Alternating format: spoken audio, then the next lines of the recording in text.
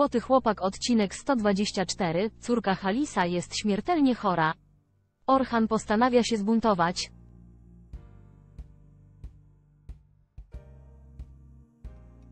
Odcinek 124 Streszczenie. Halis powierza Nuket wszystkie prawa w rezydencji, które do tej pory pozostawały w rękach Ifakat.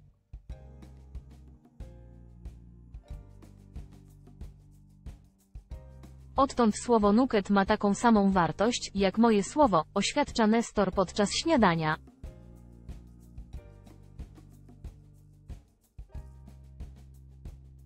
Wszelkie decyzje dotyczące tego domu będą podejmowane przez nią. Słowo Nuket jest moim słowem, zrozumieliście?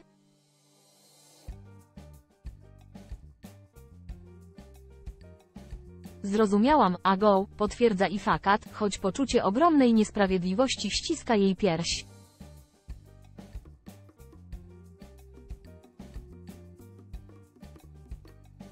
Ja nie rozumiem, ojcze, Orhan ośmiela się wyrazić sprzeciw. Co pani Nuket wie o tej rodzinie i o tym domu, że powierzasz jej taką władzę? Nie znaliśmy jej wcześniej, a teraz każesz nam jej słuchać.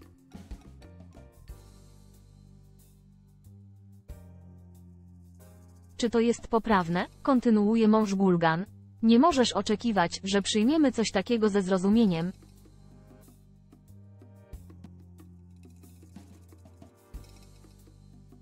Kto chce uszanować moje decyzje, przystosuje się do nich, odpowiada Halis. Jeśli zaś nie chce, spójrz, tam są drzwi.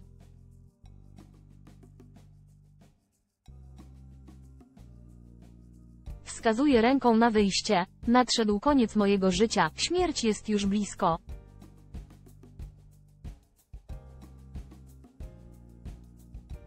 Od teraz nie powiem ani słowa tym, którzy odeszli, ani tym, którzy zostali. Nuket prosi ojca o rozmowę na osobności i razem udają się do jego gabinetu.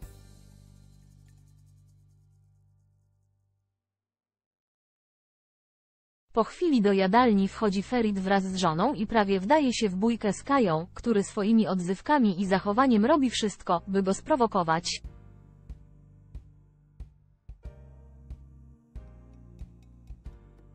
Kamera przenosi się do gabinetu Halisa. Jesteś tak bardzo podobna do swojej matki, mówi Nestor, wpatrując się w córkę.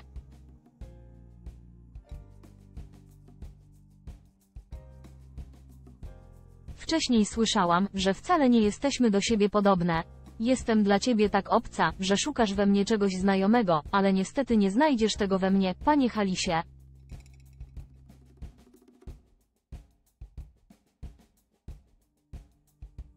Zdałam sobie sprawę z wielu rzeczy, kontynuuje Nuket. Zaczynając od tego, dlaczego mnie tu wezwałeś.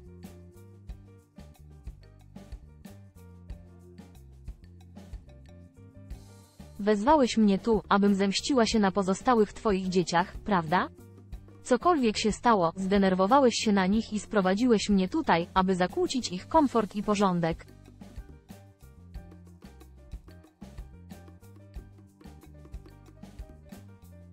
To prawda, że chcę dać im nauczkę, ale to nieprawda, że wezwałem cię tylko z tego powodu.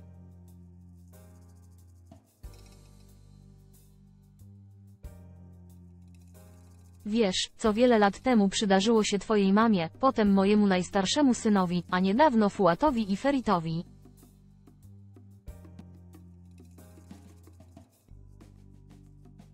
Wszechmocny przypomina nam, że jesteśmy śmiertelni. To ode mnie zależy, czy spędzę te dni próbując nadrobić te lata, których nie mogliśmy spędzić razem, mówi dalej Halis.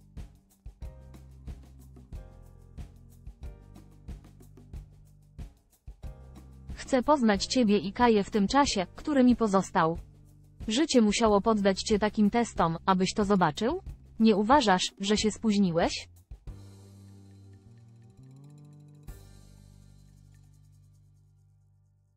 Spóźniłem się. Powinien opamiętać się o wiele wcześniej, ale człowiek nie rozumie, dopóki czegoś nie doświadczy.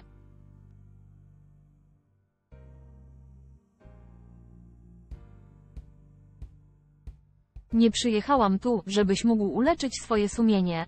Wiesz, jakie jest moje jedyne podobieństwo z moją zmarłą matką? Nasze losy.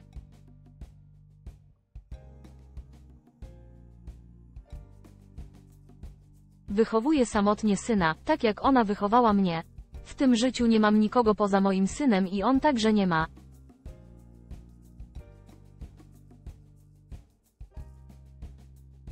Ale powinien mieć, dlatego przyjechaliśmy do Stambułu, kontynuuje Nuket. Przyjechaliśmy, żeby nie został sam.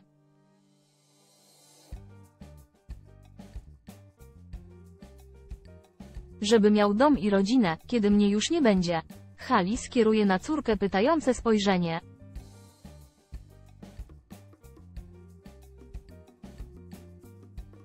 Nie rozumie, co mają znaczyć jej ostatnie słowa. Nie czuję się dobrze, panie Halisie.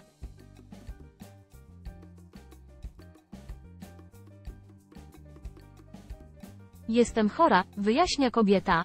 Co ty mówisz, córko? Jaka choroba? Cóż, dopadła mnie choroba.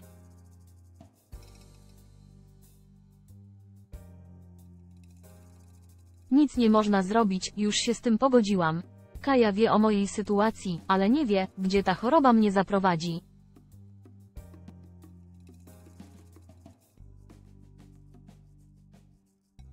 Dlaczego? pyta Halis łamiącym się głosem. Dlaczego przez cały ten czas? Dlaczego nic mi nie powiedziałaś? Dlaczego do mnie nie zadzwoniłaś? Może znaleźlibyśmy jakieś rozwiązanie?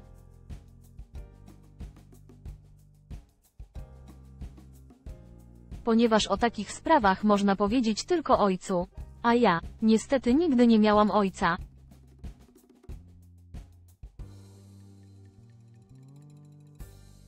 Daj Kai pokój w tym domu. Niech ma po mnie rodzinę. Doskonale wiem, jak trudno jest dorastać bez ojca.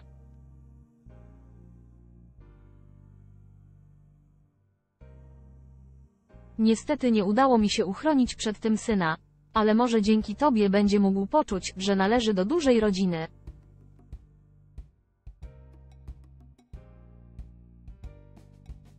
Nie chcę odchodzić z tego świata, martwiąc się o niego. Nie martw się, mówi Halis ze łzami w oczach.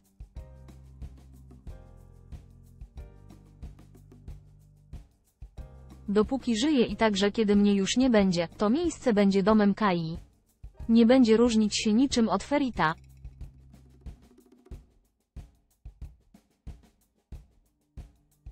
Dziękuję, zrób to dla mnie, a ja zrobię dla ciebie, co chcesz. Chcesz dać nauczkę swoim dzieciom, chcesz przywołać je do porządku.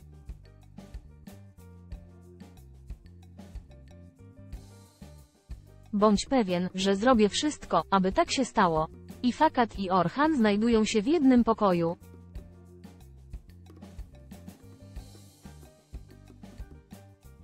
Kobieta szlocha i raz po raz pociąga nosem.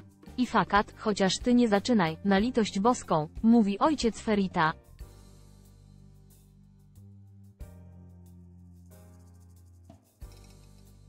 Tyle lat się trudziłam, a teraz wyrzucono mnie jak szmatę, odpowiada pogrążona w rozpaczy kobieta.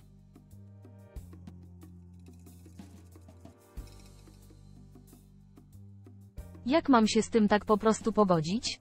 Wszyscy na mnie naciskają. Z jednej strony Gulgan, z drugiej Seiran.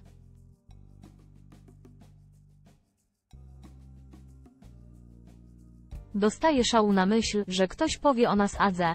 Musimy rozwiązać tę sprawę. Nie ma już czegoś takiego jak my, i fakat, oświadcza poważnym głosem Orhan.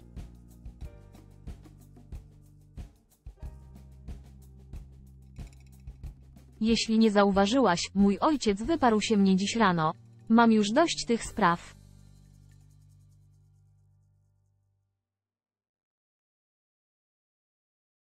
Od teraz w nich nie uczestniczę. Tata chce nowego porządku, tu go dostanie, ale każda zmiana ma swoją cenę.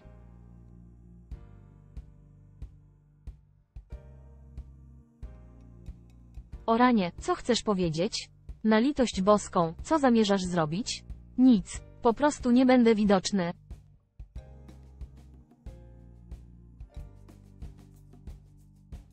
Od teraz będę żył tak jak tego chcę, i fakat. Ponieważ do tej pory nie przyniosłem żadnej korzyści rodzinie i dzieciom, to teraz przynajmniej zrobię coś dla siebie.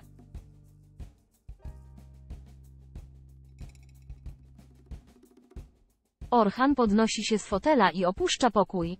Tymczasem Ferit i Seiran przyjeżdżają do apartamentu.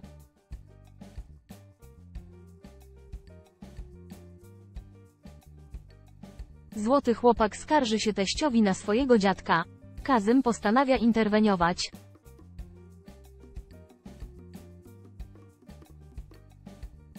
Dziś wieczorem pojadę do rezydencji, postanawia. Pokażę Nuket i temu fałszywemu wnukowi, gdzie ich miejsce.